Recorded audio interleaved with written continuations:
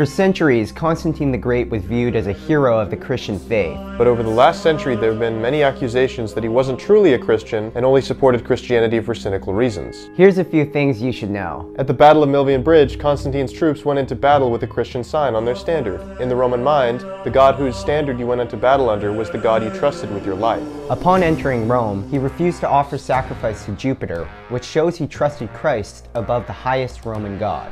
He removed pagan sacrifice from the Roman military and replaced it with the Christian liturgy. There are reports he actually attempted to outlaw pagan sacrifice entirely, which was unprecedented in human history. He had long planned to be baptized in the Jordan River before a campaign in Persia, but fell ill and was baptized on his deathbed. In his last weeks alive, he wore his baptismal robe always and repented of his sins.